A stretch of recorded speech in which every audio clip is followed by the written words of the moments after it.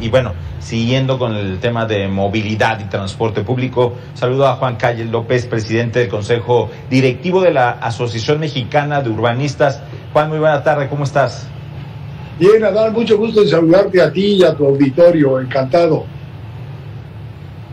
Gracias, muy buena tarde. Y mira, eh, se dice, se dice que si quieres conocer una ciudad con buen nivel y que funciona adecuadamente, la conocerás por su transporte público. ¿Cuántas de nuestras ciudades tienen esta carta de presentación en México? Mira, lamentablemente ninguna. Y déjame tocar el tema en varias vertientes. Mira, la primera tiene que ver con el número de viajes persona día que se realizan, por ejemplo, en la Ciudad de México. Nadie creería que el número de viajes es de 17.3 millones diarios. Es decir, hay una enorme movilidad en una ciudad como la nuestra, por lo menos antes de la pandemia. Mira, usan el transporte público 13 millones eh, de personas, o sea, personas, eh, viajes persona día. Luego el transporte privado lo realizan 4 millones de, viajes persona día y en bicicleta 230 mil viajes que se realizan al día. Vale la pena señalar, la Ciudad de México tiene un parque vehicular de 5 millones de unidades de, de vehículos particulares.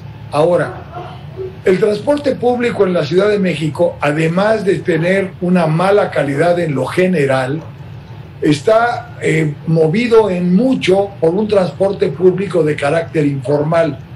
Y eso es muy grave porque no solo podemos hablar o debemos de hablar del transporte colectivo, del metrobús y de una serie de vehículos que sí tienen autorización oficial el 70% del transporte en la Ciudad de México se mueve dentro de la informabilidad.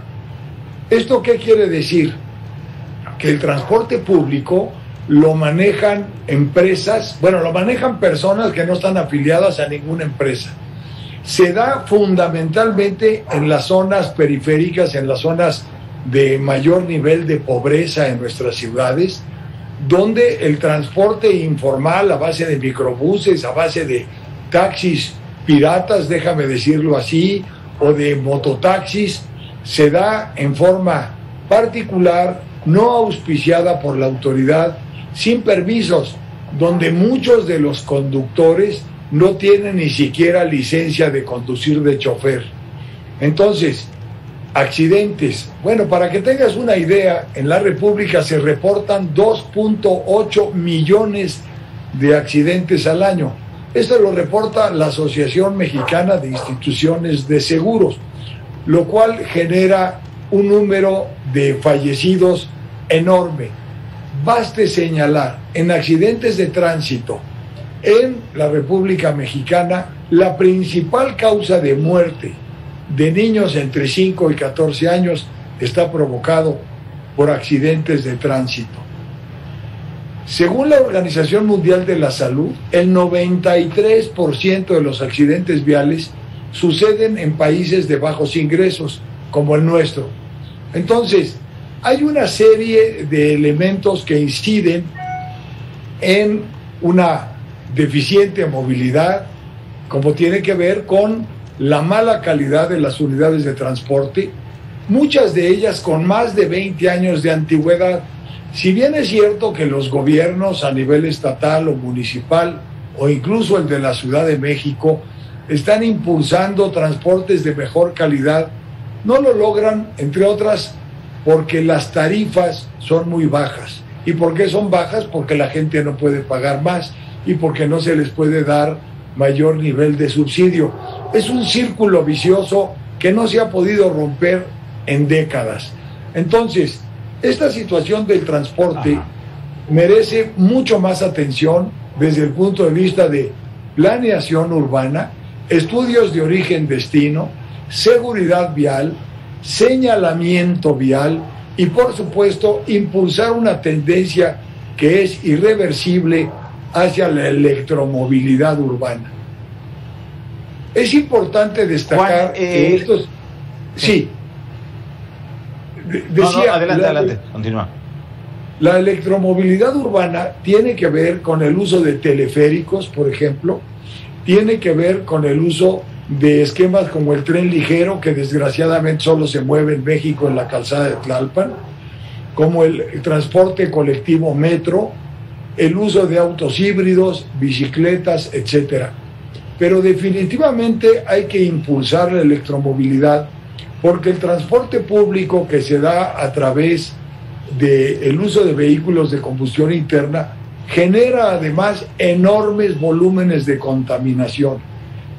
Baste señalar, la Organización Mundial de la Salud dice que 7 millones de personas al año fallecen en el mundo solo por los efectos de la contaminación provocada por el, uso de vehículos de, eh, a gasolina o a diésel. Entonces, el problema del transporte en México es muy grave en nuestras principales ciudades. Insisto, en las zonas más vulnerables de mayor nivel de pobreza, con un transporte de carácter informal, donde se perpetran todo género de acciones contra los usuarios, robo, extorsión, eh, asalto, etcétera, pues no puede seguirse manteniendo en las condiciones en que se da, sobre todo si consideramos que la pobreza urbana abarca a más del 50% de la población que vive en nuestras ciudades. Es decir, es un tema de mucha gravedad que requiere mucho más atención de las autoridades porque la baja inversión en él provoca, como dije, la informalidad, accidentes, contaminación y muerte. Eh, Juan, ahora, este modelo de transporte que, incluya todas estas vertientes de las que, que, has hablado, ¿se está trabajando ya en las grandes ciudades o no se ve que se esté haciendo algo de manera integral?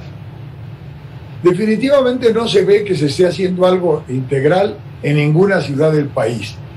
Mira, probablemente las que tengan mejores avances sean Guadalajara y Monterrey, no así la Ciudad de México. Claro, la Ciudad de México y su zona metropolitana son, la más, son las áreas urbanas más complejas del país. Pero si no hay un plan general de transporte, eh, de movilidad y transporte, no hay posibilidad de atenderlo en forma seria y en forma puntual. Se hacen ejercicios, por ejemplo, de separar el transporte de las bicicletas o hacer carriles confinados. Pero no hay un plan de movilidad en bicicleta para la ciudad, ya no digamos para la zona metropolitana. Algunas alcaldías de pronto ponen elementos de separación, volardos, etcétera. La verdad, sin ton ni son, porque no son ciclovías que le den continuidad al transporte, eh, digamos, en largos itinerarios. Entonces, la respuesta es no, no se está haciendo gran cosa a nivel nacional. A eso agrégale el problema de señalamiento vial, que es muy deficiente, es discontinuo y sobre todo es obsoleto. Eh, en la Ciudad de México o en cualquier otra ciudad del país, aparte que encuentras 100 calles con el mismo nombre, Miguel Hidalgo, Benito Juárez, Leona Vicario, etcétera, no hay forma de llegar en forma precisa a un destino con señalamientos de tan pobre calidad como los que tenemos. Esto para peatones, para ciclistas y para usuarios de vehículos eh, privados es un verdadero dolor de cabeza. Hablabas, Juan, precisamente de accidentes y de transporte privado, de vehículos. ¿Los conductores de vehículos privados están capacitados para conducir un vehículo en las ciudades? Mira, desgraciadamente no. Tú sabes que para la obtención de una licencia los trámites son muy pobres, es decir, los requisitos a cumplir más que los trámites por parte de quien pretende obtener la licencia eh, son muy pobres. A ver, hay licencias de carácter permanente. ¿Cómo se puede dar una licencia de carácter permanente para una persona que la obtuvo cuando tenía 50 años y la sigue usando cuando cumple 80. ¿quién garantiza su capacidad para poderse movilizar en condiciones como las que demandan nuestras ciudades con altos niveles de tránsito, con altos niveles de incidencia de accidentes? Pero la falta de licencias también se da en el transporte público. Bien sabemos que cada vez que hay un accidente de un microbús o que hay un atropellamiento, lo primero que hace el conductor es darse a la fuga y ponerse en manos de los abogados de la empresa para evadir su responsabilidad. No hay seguros de daños a terceros, ni en el transporte privado ni en el público. No existe la exigencia de que los vehículos tengan seguros para garantizar cuando menos la atención de víctimas por una mala conducción o por un accidente vial. Juan, eh, por último, sistemas de transporte como el metro siguen siendo buena opción o son muy caros. A ver, eh, después de ver los accidentes que ha tenido el metro en la Ciudad de México en los últimos, de los últimos dos años, pues no se puede hablar de que sean una buena opción entre otras razones, hemos visto tres accidentes fatales. Uno, un choque de trenes el año pasado. Dos, el incendio en el centro maestro de control en la calle de Delicias, que dejó seis líneas sin operación. Y el reciente accidente de la línea 12. Todos tienen un común denominador, deficiente mantenimiento, deficientes protocolos de conservación Hace poco, empezando la temporada de lluvias, vimos cómo se inundó alguna estación que dejó inutilizadas las escaleras eléctricas. Más bien, el metro se ha vuelto la única opción. No podemos hablar de que sea por mucho la mejor, a pesar de que es el que más personas mueve al día. Pues Juan Calle López, presidente del Consejo Directivo de la Asociación Mexicana de Urbanistas, muchas gracias por estos minutos con Mega Noticias TVC. No, hombre, gracias a ustedes por escucharme. La verdad es que es un tema que vale la pena seguir investigando y ahondando. Gracias, Adán, por, la, esta, por esta entrevista. Muy grato estar con ustedes. Gracias, buenas tardes. Vamos a un corte, regresamos con más información.